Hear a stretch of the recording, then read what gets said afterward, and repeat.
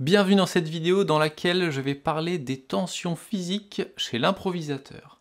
Les tensions qu'on voit couramment chez les musiciens qui improvisent, et en particulier les guitaristes. Évidemment, si je vais parler de toutes ces tensions, c'est parce que je vais vous proposer des solutions pour essayer de les éviter ou de, les, de moins les avoir. J'ai une guitare manouche dans les mains, mais en fait, je vais parler de tous les styles de musique et les tensions qu'on voit, c'est un peu, ça, varie un peu en fonction des styles de musique, en fonction des positions qu'on a lorsqu'on joue de la guitare. On va commencer par le jazz manouche. Alors, les tensions qu'on peut avoir en jazz manouche, elles sont assez nombreuses parce que c'est un style de musique et c'est pas le seul. Hein, je pense aussi au flamenco, mais il y a d'autres styles de musique qui demandent pas mal de force. Un style de musique qui demande de la force. Il faut attaquer fort, à la main droite, il faut appuyer fort à la main gauche, et quand on fait la pompe, il faut, il faut appuyer, relâcher euh, tous les temps, donc euh, de nombreuses fois. Bref, c'est un style de musique qui demande de l'entraînement physique et une bonne posture et de la force, et donc en gros c'est très facile de se faire mal et d'avoir beaucoup de tensions. Parmi les tensions qu'on voit assez couramment, il y a des tensions qui, il y a souvent des tensions à la main droite, alors ça peut être le plus courant, c'est au niveau du poignet. Il faut que le poignet soit relâché. Il faut pas mal jouer sur le poids de la main et l'élan qu'on va donner à la main et donc l'énergie euh, cinétique, hein, on peut dire, que la main prend. Et donc si on a le poignet serré comme ça, on va beaucoup plus jouer sur la force, euh, la force avec laquelle on appuie, plutôt que l'élan qu'on donne à la main en fouettant avec le poignet. Autant pour l'accompagnement, donc la pompe, que pour les solos en faisant taper le, médiator euh, sur les cordes. Il y a aussi des tensions qu'on peut avoir en serrant trop fort le médiator, ou alors en le serrant pas comme il faut, et du coup ce sera plus des tensions par ici. À la main gauche, il y a plein de tensions qu'on peut avoir. En fait, les tensions les plus courantes à la main gauche, c'est plus des tensions qui viennent de plus haut, et notamment de l'épaule, ou même du dos. Donc si l'épaule elle est un peu trop montée ou qu'on est tendu à la main gauche ou au bras gauche plutôt, enfin au bras qui appuie sur les cordes, ou alors si on est tendu derrière en fait au niveau, du dos, et eh ben ça ça va amener de fortes tensions et on va pas être confortable quand on joue. Il faut aussi dans l'idéal avoir une position qui est la plus symétrique possible. Si vous êtes complètement désaxé, ben le corps va pas trop apprécier. Donc ça c'est des tensions plutôt au niveau des mains ou des épaules. C'est ce qui peut amener des tendinites. Hein. Je ne développe pas ce sujet puisque j'en ai déjà parlé dans une autre vidéo. Mais euh, c'est à prendre très au sérieux, hein, surtout si vous jouez euh, de nombreuses heures par jour. Euh, les tensions aussi qu'on voit très couramment et qui, elles, sont plus visibles par tout le monde, c'est les tensions au niveau de la tête. Alors, les tensions au niveau du cou, le cou qui va être un peu tendu comme ça, ça c'est tension assez courante, euh, je pense que la plus courante, c'est la tension au niveau de la bouche. Alors il y a plein de variations, plein de... Euh, ça peut être la bouche qui se crispe comme ça.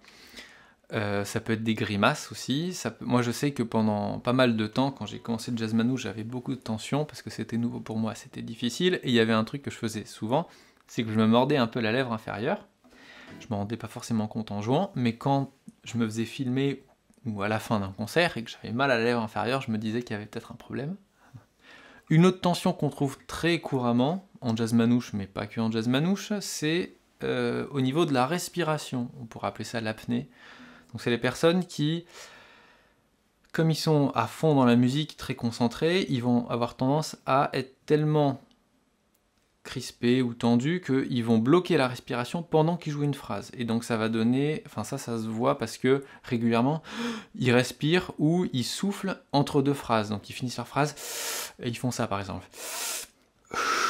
Voilà, et ça, c'est... Euh, bon, visuellement c'est pas très gênant. Par contre ça devient un vrai problème lorsqu'il s'agit d'enregistrer avec un micro qui est devant la guitare et où là où on entend vraiment le, ce bruit de respiration. Et dernière tension assez courante en jazz manouche, c'est tout ce qui est lié à la hauteur de la guitare.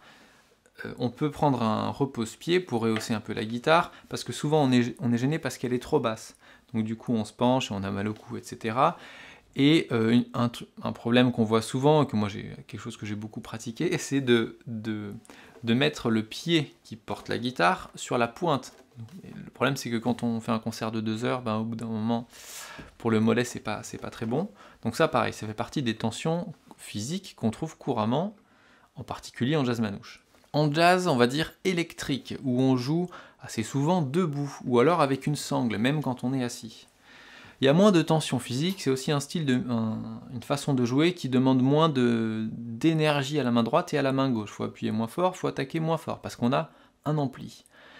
Donc, euh, tout ce qui est tension physique liée à la force que ça demande, bah, elles sont moins présentes, forcément. Par contre, toutes les mimiques, ou les, grimaces, les mimiques les problèmes de respiration, euh, les choses qui peuvent s'apparenter au pianiste Keith Jarrett, qui est un pianiste qui, qui faisait pendant qu'il qui, marmonnait comme ça ses, euh, ses phrases pendant qu'il les jouait et qui gênait parfois, enfin qui s'entend en fait très clairement dans les enregistrements, ce qui peut être assez gênant. Euh, c'est quelque chose qu'on trouve assez souvent en jazz, euh, en jazz électrique, et c'est quelque chose qui, je pense, est très lié à la façon de concevoir euh, les phrases. C'est-à-dire que si les musiciens font ça, c'est parce qu'ils ils chantent des phrases, en fait, dans leur tête, ils essaient de chanter des phrases, et, ils sont tellement à fond là-dedans que bah, du coup ça sort physiquement, en fait, hein, en marmonnant ou... Pour tout ce qui est plus électrique, je pense notamment au rock, les tensions, elles peuvent assez souvent venir de la main gauche et de l'énergie trop importante qu'on va mettre dans la main gauche et dans la pression ou dans la force avec laquelle on va faire les bends, parce que la musique qu'on joue est très énergique, parce qu'on joue en son saturé, on joue en double corde. Mais c'est donc comme l'énergie suggérée par la musique qu'on joue est très importante, des fois on va se laisser déborder par cette énergie et, serrer beaucoup trop fort les cordes de la guitare. Euh, ça, moi, je l'ai pas mal euh, vécu j'ai dû travailler ça pour euh, travailler les phrases énergiques, mais en étant détendu. Donc, c'est quelque chose que vous devez travailler si vous faites pas mal de rock ou de blues. Jouer des phrases qui sont très énergiques, qui envoient, on pourrait dire, en étant très détendu et en appuyant pas, pas fort, enfin pas tellement plus que nécessaire. Maintenant, que j'ai listé un peu toutes les, tensions qu'on trouve couramment chez les improvisateurs, y compris moi-même, voyons comment on peut régler ces problèmes. Alors déjà, euh, certaines de ces tensions peuvent être un problème très sérieux lorsque lorsqu'elles sont tellement importantes qu'on peut s'abîmer le corps avec, donc avoir des tendinites et du coup ne plus pouvoir jouer. Donc là, ça devient des problèmes très sérieux, quoi, qu'il ne faut pas prendre à la légère. Il faut aller voir des spécialistes hein, pour régler ce genre de problèmes, les kinés, les ostéos, bref, les personnes dont c'est le métier. Euh, mais il y a aussi, là c'est pas tellement le sujet de, cette vidéo, le sujet de cette vidéo c'est peut-être plus pour l'aspect en fait euh, scénique. Euh, alors je vais vous présenter mon point de vue sur la question. Pour moi, le, la musique, c'est le but de la musique, c'est de faire des choses le plus belles possible avec l'instrument qu'on travaille. Mais il y a aussi une part de, de, scénique. Et donc en fait, lorsqu'on fait en improvisant par exemple, bah ça doit être quelque chose, enfin il faut euh, le réaliser et il faut en fait que ce soit un choix. Faire ça, il faut qu'on en soit conscient et qu'on se dise oui, c'est à ça que j'ai envie de ressembler ou c'est moi quand je fais ça et, ça me va très bien et c'est un choix. Et donc ce que je veux dire par là, c'est que euh, ces mimiques, en avoir ou ne pas en avoir, c'est quelque chose qu'il faut travailler comme la guitare en fait. C'est l'aspect scénique de, la musique et c'est quelque chose dont il faut, euh, il faut travailler. Donc si vous voulez ne pas avoir de mimique quand vous jouez, mettez-vous face à un miroir ou filmez-vous, essayez de vous concentrer sur vos mimiques et pas sur le jeu de la guitare. Et euh, je dis pas ça en rigolant, mais ça peut être un choix de faire exprès d'en avoir des mimiques parce que vous trouvez que c'est plus élégant, que c'est plus stylé, que c'est plus personnel, peu importe la raison, ça peut être un choix de faire exprès d'avoir des mimiques. Euh, il y a des musiciens qui font ça. Et aujourd'hui, c'est assez facile d'avoir un retour sur ce qu'on fait. Je pense au miroir, mais le, plus euh, évident, c'est aujourd'hui, c'est la vidéo. Vous prenez votre téléphone, vous vous filmez, ça prend quelques secondes et puis c'est pas, difficile à faire. Je vais conclure cette vidéo avec des pistes qui pourront vous amener à trouver des solutions pour régler ce genre de problème. En fait, le problème dans tout ça, des tensions qu'on a lorsqu'on joue, c'est un problème de décontraction. C'est un problème, c'est-à-dire que lorsqu'on joue, on n'est pas concentré sur son corps, sur ce à quoi on ressemble, on est concentré sur les notes qu'il faut jouer. Est-ce qu'on joue dans le rythme? Est-ce qu'on est accordé? Est-ce qu'on joue les bonnes notes sur les bons accords? Et on est à 100% là-dessus. Ce qu'il faut arriver à faire, c'est justement prendre du recul, donc être, je sais pas moi, à 50% sur les notes, et se concentrer beaucoup plus sur comment on se sent lorsqu'on joue, à quoi on ressemble, est-ce qu'on est en train de se mordre la lèvre ou pas?